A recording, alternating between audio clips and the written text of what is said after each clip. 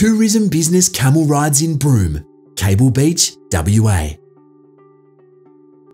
Sundowner Camel Tours was established mid 2014 by the current owner, who's been in the camel tourism industry for 25 years. Offering a good money making and lifestyle business, only three permits are allowed to operate camel rides on Cable Beach Broome.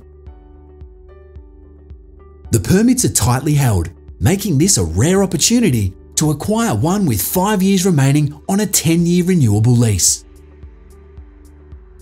The business currently operates with 18 camels, with an option to increase up to 20 during peak seasons. Overheads are low as the camels are housed on government property, just 3.5 kilometres from Cable Beach. Tours are booked through the website, plus various tourism agencies, travel agents, resorts, and accommodation places. All the camels are trained and familiar with people, and the tours are highly ranked on TripAdvisor as a must-do experience.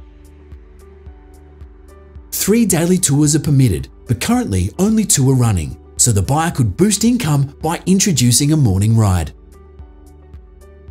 Training is provided, and the owner is willing to stay on for up to two months for a smooth transition. Opportunities like this rarely come up, so be quick to put in your best offer.